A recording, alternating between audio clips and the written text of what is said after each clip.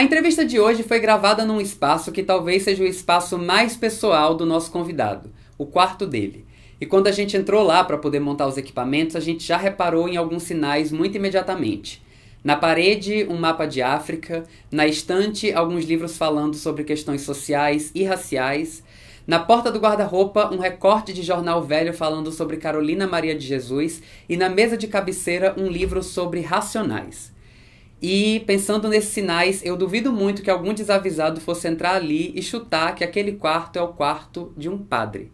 Talvez porque ele seja mesmo um padre muito diferente do que a gente está acostumado. Um padre africano natural de Cabo Verde que vive no Brasil há alguns anos como missionário da Congregação do Espírito Santo tendo um trabalho especial dedicado às pessoas pobres e especialmente às pessoas encarceradas nos presídios ali daquela região, majoritariamente pessoas negras.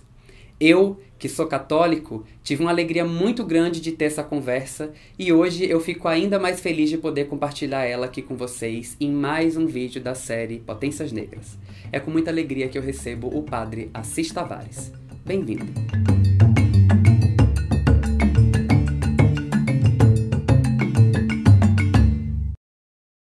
Querido, que alegria ter você aqui no canal. Muito obrigado por ter topado esse convite para essa conversa. E assim, a gente foi um processo para a gente conseguir agendar. Sim, sim, sim. Mas estou feliz de te receber aqui. Como você prefere ser chamado? Assis ou Padre Assis? Ah, Assis, você que sabe. Eu, por mim, tanto faz. Tanto Assis como Padre Assis, eu não tenho problema, né? Eu queria que você começasse essa nossa conversa se apresentando, falando um pouquinho de você, quem é você. Ah, ok. Então, galera, um grande axé para vocês. Gratidão pelo, pelo, pelo convite, tá bom? De estar aqui com vocês hoje. O meu nome é Assis, Assis Tavares. Sou de Cabo Verde. Cabo Verde, como sabemos, são 10 ilhas, né? Arquipélago no meio do Mar Atlântico, em face do Senegal. Né? Tenho 36 anos. 36 anos. E deixei minha terra natal já com os meus 17, né? 17. E até então me encontro nesse, nesse mundão, né? Que é a nossa casa comum, né? Que é a nossa casa comum.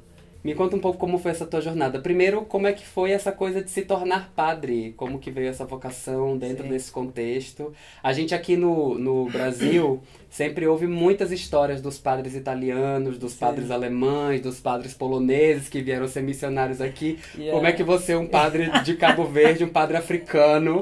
Como você se tornou padre? Como você veio parar aqui nessa terra? Yeah. Para ser sincero, nunca, de criança, nunca pensei em ser padre, sinceramente, né?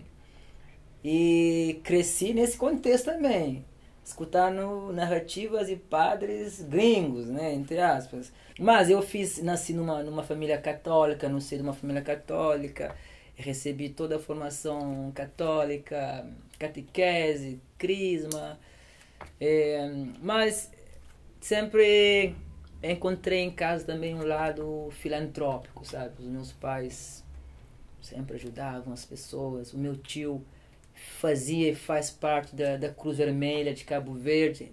Cara, então fervia assim, né? O lado, o lado da fé, mas também o lado filantrópico. Encontrei as duas coisas em casa.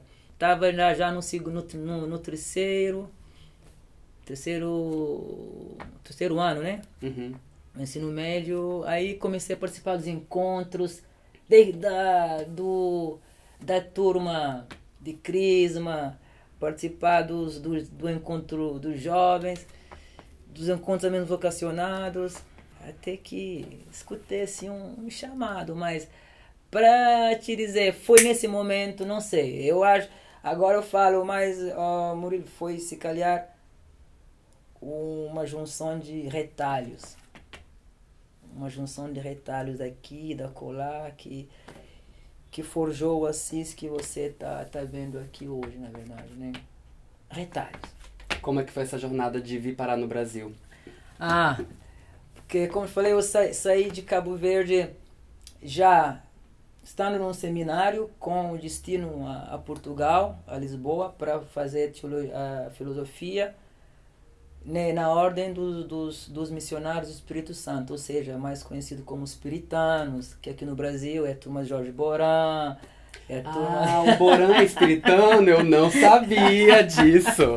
Que A legal. turma do Borato, do Patrick. Então é, é, né? Digamos, é uma turma assim, né? Onde me, me encontrei bem. Sim. Ao menos aqui no Brasil. Então, fiz a, a filosofia na PUC de Lisboa três anos. Já em 2005, na Jornada Mundial da Juventude, que, tava, que, tá, que aconteceu na Alemanha, conheci um outro espiritano que hoje é meu colega, o padre Patrick Clark, que está aqui há 50 anos na, na favela. Ele tinha levado um grupo de jovens também daqui para lá. Estando eu em Portugal, fiz- pegamos ônibus, fomos para a França, não, para a Alemanha, para a Jornada Mundial, nos conhecemos lá, ficou contato. Terminando a formação, você tem, tem, tem uma lista de, de prioridades. A, a congregação, nossa ordem religiosa, te dá uma lista. Ó, tá faltando gente na China, e digamos, né, na Índia, no Paquistão, numa parte da África, na, na América Latina, e também tem esse aí. O padre Patrick sabia que eu estava terminando a teologia, ele foi me visitar lá, lá em Paris, Uhum. que ele é ir- irlandês, né? Cara, lá, lá em Paris ele chegou, falou, ó, aqui está o projeto da área pastoral Sons Operário, na favela da Vila Prudente, que pega cinco favelas e tal, né, onde temos projetos sociais. Eu tô velho demais, não vou dar conta mais do recado. Investigando, entre aspas, você tem perfil para sobreviver também ali e para dar a sua contribuição. Eu falei, pá, mas eu não sou aqui, mano. Mas contemple aí no seu pedido, por favor. Assim foi, cara. Fui para Cabo Verde em 2012, depois de defender a tese, né, a mono- a monografia do mestrado. Fui ordenado 16 de dezembro de 2012. Aí então, Murilo, eh, ordenando lá, já sabia que, que viria para cá. Cheguei no Brasil dia 4 de, agosto, 4 de abril de 2013, diretamente para a favela da Vila Prudente, certo? Né? O Patrick foi me acolher, toda a galera foi me acolher. E o mais legal é que o fato de ter já o contato com a galera daqui, que eu conhecia, meu, em uma semana já conhecia ao menos umas 50 pessoas. Então, cara, eu me encontrei aqui, por isso que, que hoje estou pisando o chão dessas vielas e becos com, com muito prazer. Eu falo, eu sinto feliz, eu sou feliz no, nesse, nesse pedaço de chão, sabe? Muito, muito, muito feliz. Que Por bonito isso que eu vim isso. parar aqui, rapaz. E que trabalho que você tem feito hoje aqui como missionário nessa terra? ok. Nessa terra, a gente, ao, ao chegarmos, como já tinha estrutura já aqui, a gente veio para somar, para trabalhar com o povo e não para o povo, né? Essa é a nossa filosofia de vida. Então, aqui a gente trabalha muito essa consciência, né? De, de estar numa favela e se orgulhar, não se orgulhar por conta, não, eu, me encostei, mas do lugar, preservar o lugar onde você mora, sabe? Respeitar o lugar onde você mora, somar com aqueles que tentam mudar a quebrada. Por isso que tem a creche. A creche tem mais de 30 anos ali. Tem uma coordenação, ela é conveniada com a prefeitura. A gente só acompanha o trabalho, assim, pastoralmente falando, da, da creche. Tem o centro cultural também que acolhe crianças de 7 a 13 anos, onde tem oficinas de capoeira, dança, balé, etc, etc. O normal, né? O comum, na verdade. Ali mais o Patrick, o padre Patrick acompanha, eu também estou nos bastidores. A cooperativa de reciclagem, né? Que os jovens saiu pela iniciativa dos jovens, né? Da igreja, que hoje continua caminhando, graças a Deus, e bem, sabe? Tentando fazer um trabalho ambiental, de conscientização, de, de educação ambiental muito bacana, fazendo coleta aqui. E eu também estou muito implicado tanto na pastoral afro quanto na pastoral carcerária. Visito toda quarta esse CDP aqui, CDP Centro de Detenção Provisória, né? Uma uma senzala, infelizmente, né? Quando você entra num, depois de passar cinco, seis portões, não tem como não chorar com as mães que fazem filas, né? Com as mães que deixaram as as casas grandes para colocar né, para fazer fila nos centros né, penitenciários, certo? E, então, a, a pastoral carcerária, para mim, é muito, muito significativo e faço questão de, sabe, de ir, de ir. É uma coisa que exige muito mental, de resistência. Você, basicamente, você está lá ver os seus irmãos sendo, digamos, uma, uma máquina de extermínio. Não tem outra palavra. E com a pastoral afro, é trazer a negada mesmo para dentro da igreja e chacoalhar e, e cutucar mesmo, sabe? Não é somente pegar um Cristo com cabelo crespo e pintar, não é somente pegar indumentárias e colocar. Não, eu falei, não, calma aí, o evangelho está além, muito mais acima de cultura, né? O Cristo, esse Cristo europeu aí, é fachada, brother. Calma aí, meu. Tento somar. Somar com o nosso povo que simplesmente quer, como diz aquela eh, música, né? Ter voz, vez e lugar. Nada mais, cara. Queremos simplesmente ter vez, voz, lugar. Não estamos pedindo nada mais a esse povo diaspórico, povo lindo que o Estado quer exterminar, que o Estado mata, que o Estado exclui e que a igreja também é conivente, né? Sim. Então a gente luta, briga por tudo isso, cara por tudo isso. Apesar do Estado ser laico, a igreja é um órgão com muita influência no nosso país. E usando dessa influência, ela desenvolve ações que buscam visibilizar e prestar apoio a grupos fragilizados e em situação de risco. Oficializado em 1998 como organismo oficial da Igreja Brasileira, a Pastoral Afro-Brasileira existe para desenvolver os valores e culturas dos povos afro, integrando fé, cultura e experiência com a religião católica. O objetivo é sensibilizar a igreja para o conhecimento de questões afro-brasileiras, além de incentivar grupos que buscam a identificação numa sociedade e igreja plurais. Entendendo que a política de encarceramento em massa tem como alvo grupos sociais marginalizados e empobrecidos, em especial jovens negros e periféricos, a pastoral carcerária busca ser a presença da igreja no mundo dos cárceres, estando próximo às pessoas privadas de liberdade e lutando pelo respeito à dignidade humana, desmilitarização da polícia, redução de penas e descriminalização de condutas. Abraçar causas políticas que beneficiam grupos menos favorecidos também é papel social das instituições religiosas. Eu sou o Sam Santos e esse foi o Ampliando as Redes. Vejo vocês no próximo episódio. É, assim, eu tava comentando contigo antes da gente começar a entrevista que eu tenho alguns amigos padres e eles todos são bem fora da curva, né? E assim, é, eu acho maravilhoso você me dizer essas coisas todas e eu compactuo muito com esse Sim. cristianismo que você me transmite. Mas eu imagino que é um desafio muito grande porque ah, a igreja tem toda uma estrutura que não está preparada para lidar com essas com ideias e para valorizar essas nossas identidades e, é. e o valor do nosso povo é isso, né? Ela é muitas vezes é conivente sim, com esse sim. processo de extermínio. Como é que tem sido para você essa coisa de comprar esse desafio sendo um padre? Sabe, eu, eu sempre me considerei livre interiormente, sabe? Tanto é que a minha mãe não gosta do, do, dos meus dreads, sabe? A hora que é natural, cresceu, voltou a crescer, certo? A minha mãe não gosta da, da forma que eu, que, eu, que eu me visto, mas é, comprei briga com a minha própria família. Mas no fundo a minha mãe sabe o filho que ela, que ela gerou. Sempre ela diz, é, tem orgulho, é, ué, mas... Sempre aquele mais. E amigos também, a igreja também, a, a congregação também. Mas sabe qual é o meu válvula de escape? É que eu, ao acordar até dormir, isso falo categoricamente, tento sempre fazer o que está ao meu alcance, sempre fazer, fazer o bem, assim. A igreja, ela é sempre, sempre, sempre foi, né? Quer queramos, quer não. Ela sempre foi, sempre teve as duas alas. Sim. Desde que a igreja, a igreja sempre teve duas alas. Olha, olha Pedro e Pelo Paulo. Pelo menos duas, duas alas, né? Olha já Pedro e Paulo, né? Olha Jesus com seus Pô, uns querem ir para cima, outros... Não, calma, jovem, calma isso persiste até hoje. Eu sempre pisei a ala progressista. Eu, entre direita e esquerda, prefiro ir para a esquerda, né? Quando estou é perdido, nós, né? Perdido. Isso eu falo tranquilamente. Mas não quer dizer que eu vou desconsiderar a ala, a ala, né?